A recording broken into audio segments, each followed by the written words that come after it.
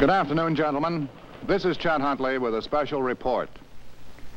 For businessmen around the world and across the nation, these are dramatic times. On the world scene, we live with the knowledge that the major powers hold the balance of peace in uncertain hands. In Europe, the common market offers new challenge and new opportunities to American manufacturers. In space exploration, it has been a time of remarkable achievement. We are sending missiles and satellites into the beyond with increasing regularity. In show business, the wags of Broadway have found the wit and talent to invade the executive suite and make a hit show out of a musical satire called How to Succeed in Business Without Really Trying.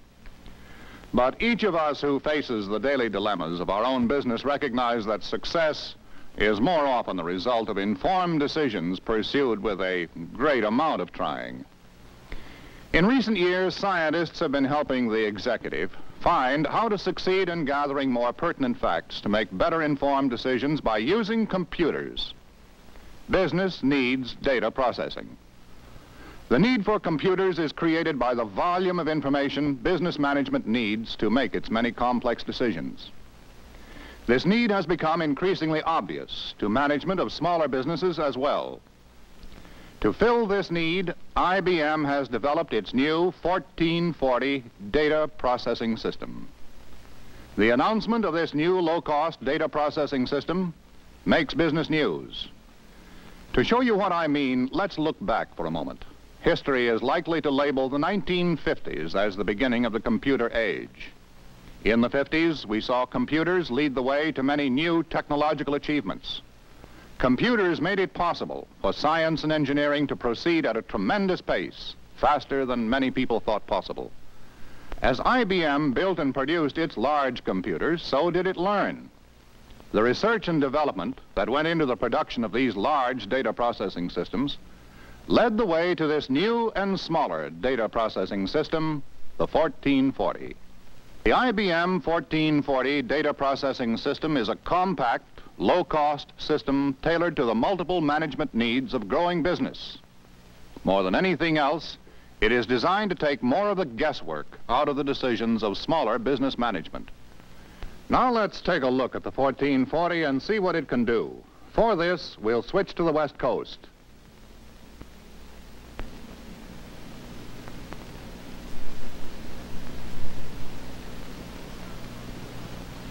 Here in San Jose, in Northern California, is one of IBM's product development laboratories. Here, IBM engineers have assembled the components of the 1440 system for presentation. Standing by is IBM's Dan Woodward, a member of the development lab. Hello, Dan. Are you ready to answer a few questions? Yes, Chet, I'd be happy to answer your questions. What does the 1440 do? Well, right now, it's doing an inventory application. Let me show you something. Miss Arnold, will you ask the 1440 the inventory balance on part number 682314? That's a carburetor for a new model tractor. We'd like to know how we stand on this item. And the answer comes back right here in the typewriter.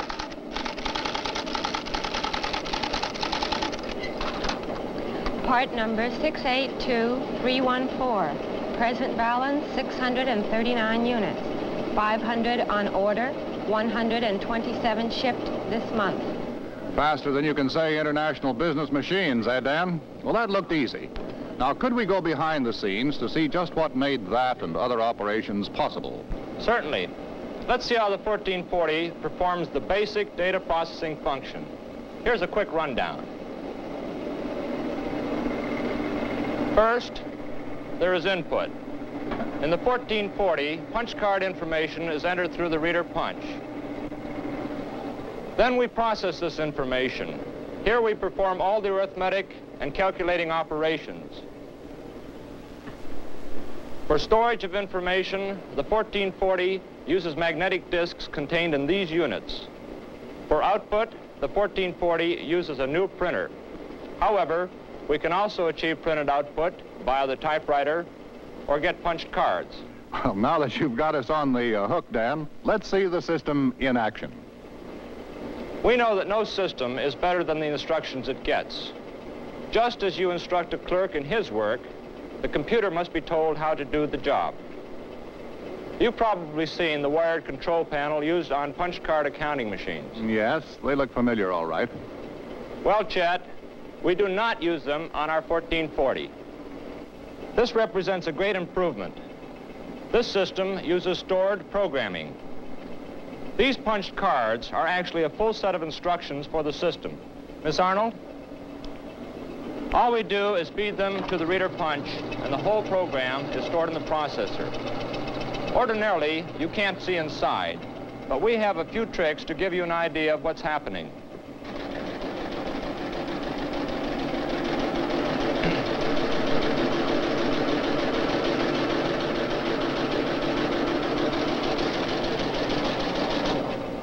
Now, the processor has all its instructions and we're ready to run. All its instructions. Just what kind of a program do those cards represent? Good question. These particular instructions represent all of the steps necessary to complete an inventory control application. Now, if we were to feed in the daily transactions, the computer could bring the inventory record up to date, prepare the invoices, or do many other of the warehouse operations. Suppose we wanted the system to do a payroll or some other application. Then, Chet, it needs a different set of instructions. Since this is stored programming, Miss Arnold can feed another deck of punch cards into the reader to instruct or program the system. With this new set of instructions, the computer is preparing to do another job.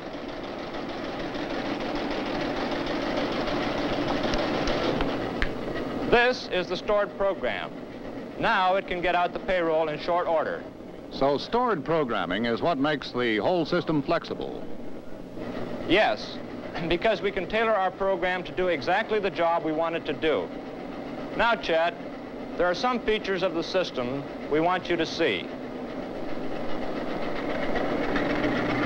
You'll be interested to know that this reader punch uses solar cells. Well, that's what they use in the satellites. That's right. You see, the light passes through the cards wherever there's a hole and activates electronic impulses in the cell. This is a remarkably reliable and accurate method of reading. The information is transmitted into the processor. Now we see some action in the processor. Just what is happening? Well, Chet, the twinkling is our way of showing you activity in the processor. The processor is executing the instructions we gave it. It is performing all the necessary arithmetic, and it is bringing the master records on the magnetic disks up to date. The records are on disks? Yes, they are. This new disk storage is a dramatic technological breakthrough. Depending upon the arrangement, we can store up to 3 million characters of information on just one of these packs. Could we have a look at the disk pack? Here it is. There are six disks. That's where we file the information. All right, Dan. But tell us how that information goes on or comes off the disks. I'll do better than that. I'll show you. Each disk in the pack has circular tracks on which the business records are stored.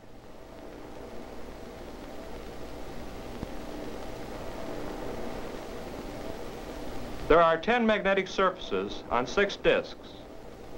Comb-like arms pass between the disks, reading information out of the files or updating them with new data. It is significant that with these arms we can scan the records in sequence or seek out a particular record at random and do either at great speed. First, sequential action.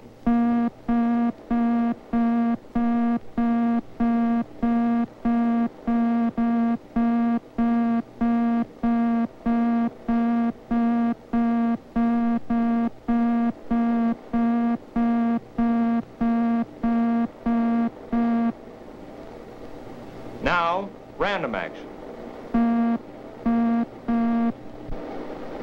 They provide the advantages of rapid sequential as well as rapid random processing. Now, Chet, here's a really exciting feature. Watch this.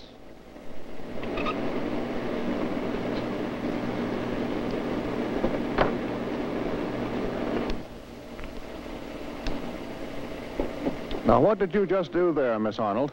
I removed an entire payroll and replaced it with the master records for a 20,000 part inventory.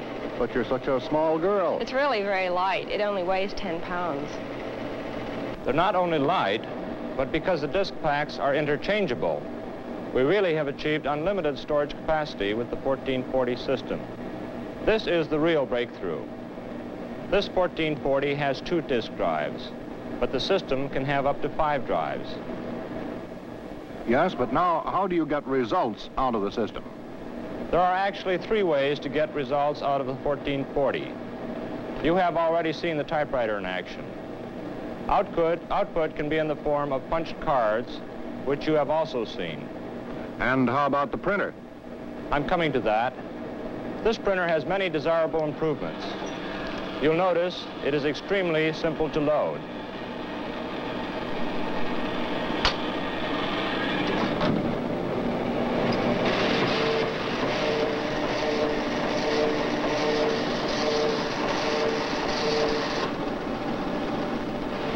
Another real improvement is the removable type bar. The type bar we just used contains the alphabet, numbers, and special characters. You said it was removable. Yes, and it is.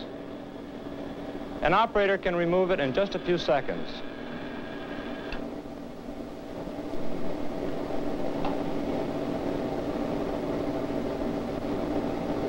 She replaces it with another bar that contains only numbers and a few special characters. For some jobs, that's all we need.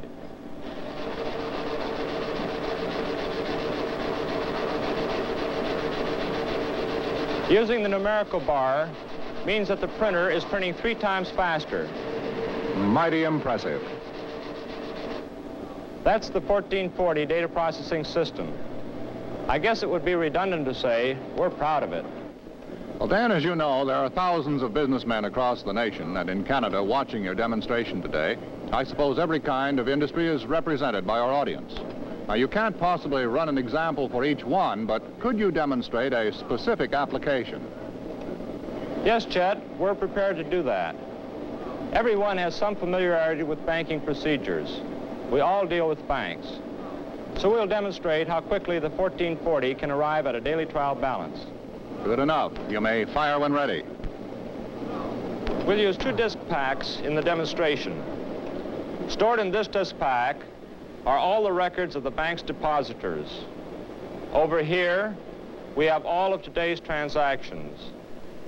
They have been entered into the 1440 and sorted by account number sequence within the disk pack.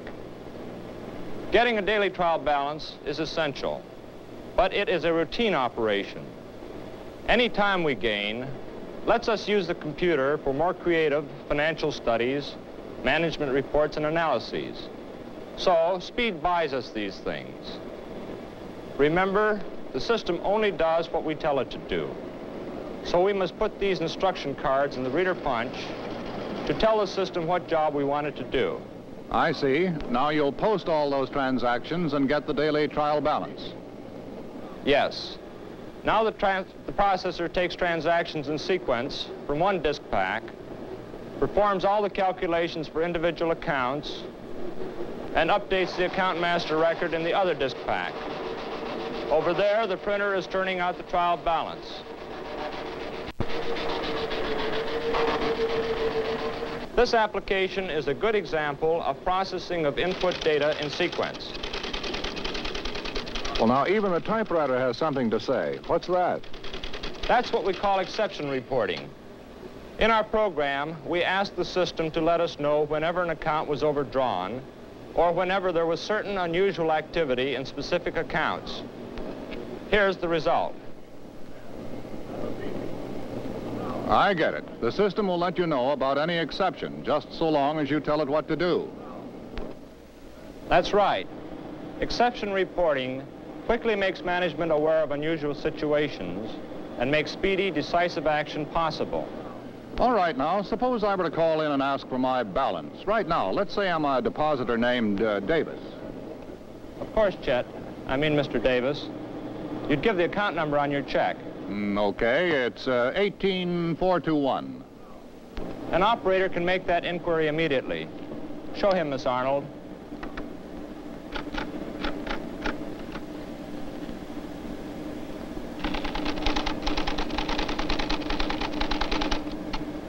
And the typewriter comes back with the information.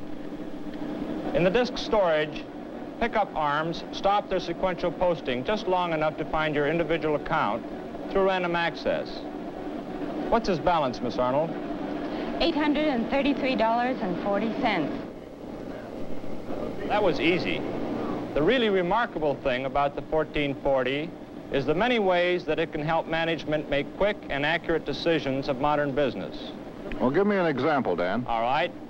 In a manufacturing operation, all the basic functions are interrelated. What happens in one affects all the others. You mean like engineering, inventory, and quality control? Yes, and material planning, scheduling, dispatching, and forecasting. All seven are basic functions of manufacturing. Anything that affects any one of these functions affects all the others. You mean, for example, the late delivery of raw materials will eventually delay shipping schedules? Yes, but it is more complex than that. It will probably affect all the operations, too. Things happen fast. The question is not whether there will be delay. The problem is how much delay. And how will the delay affect scheduling, quality control, and eventually profit? The real question is how fast management can be alerted to take corrective action. Well, now, Dan, can the 1440 really help management tackle these complex problems? Yes, it can. It can't change what management controls, but it can deliver information faster and provide more up-to-date intelligence. And how will it do this job? Here is your answer. In these disk packs, we have stored all the pertinent records. For example, current orders, inventory, job costs, and many others. Over here, we have punched cards for things like new orders, engineering changes,